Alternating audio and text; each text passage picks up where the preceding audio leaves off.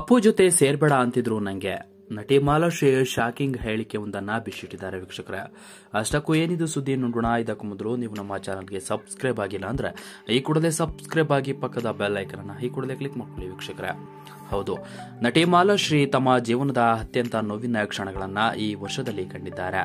ಮಾಲಾಶ್ರೀ ಅವರ ಪತಿ ನಿರ್ಮಾಪಕ ರಾಮು ಇದೇ ವರ್ಷ ಏಪ್ರಿಲ್ ತಿಂಗಳಲ್ಲಿ ಕೊರೋನಾದಿಂದ ನಿಧಾನವನ್ನ ಹೊಂದಿದ್ದಾರೆ.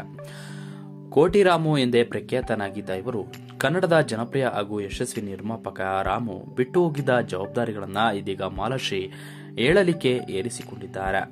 ಸಿನಿಮಾದ ಜವಾಬ್ದಾರಿಯ ಜೊತೆಗೆ ಮಕ್ಕಳ ಜವಾಬ್ದಾರಿಯು ಮಾಲಶ್ರೀ ಅವರಿಗಿದೆ. ಪತಿಯನ್ನು ಕಳೆದುಕೊಂಡು ಅತಿಯಾದ ದುಃಖದಲ್ಲಿದ್ದ ಮಾಲಶ್ರೀಗೆ ಅಪ್ಪು ನಿಧಾನವು ಕೂಡ ದೊಡ್ಡ ದುಃಖಾನಿ ತಂದಿತ್ತು. ಮಾಲಾಶ್ರೀ ಹಾಗೂ ಅಪ್ಪು ಬಾಲ್ಯದ ಕಡೆಯವರು ಪುನೀತ್ಗಿಂತ ಕೆಲವು ಎರಡು ವರ್ಷ ದೊಡ್ಡವರಾಗಿದ್ದು ಮಾಲಾಶ್ರೀ ಅಪ್ಪುವಿನೊಂದಿಗೆ ಆಪ್ತ ಗೆಳೆತನವನ್ನು ಹೊಂದಿದ್ರು. ಗೆಳೆಯ ಅಪ್ಪು ನಿಧಾನ ಹೊಂದುವುದಕ್ಕೆ ಮುಂಚೆ ತಮ್ಮೊಂದಿಗೆ ಆಡಿದ ಸ್ಫೂರ್ತಿದಾಯಕ ಮಾತುಗಳನ್ನ ಮಾಲಾಶ್ರೀ ನೆನಪಿಸಿಕೊಂಡಿದ್ದಾರೆ. ಖಾಸಗಿ ಚಾನೆಲ್ಗೆ ನೀಡಿದ ಸಂದರ್ಶನದಲ್ಲಿ ಮಾಲಾಶ್ರೀ ಮಾತನಾಡಿದ್ದಾರೆ ವೀಕ್ಷಕರ. ಅಪ್ಪು ನಿಧನವಾಗುವುದೇ ಮೂರು ದಿನ ಮೊದಲು ಒಂದು ಮನೆಯಲ್ಲಿ, ಮದುವೆಯಲ್ಲಿ ನಾನು ಅವರನ್ನ ಭೇಟಿಯಾಗಿದ್ದೆ.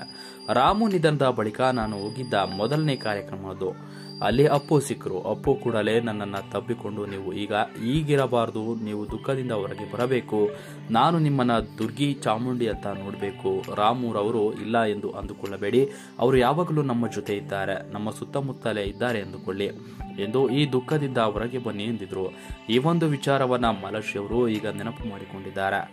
ಈ ಒಂದು ಘಟನೆ ನಡೆದ ಮೂರು ದಿನಕ್ಕೆ ಅಪ್ಪು ಇನ್ನಿಲ್ಲ ಎಂಬ ಸುದ್ದಿ ಕೇಳಿ ಕತ್ತಲು ಕವಿದಂತೆ ಭಾಸವಾಯಿತು.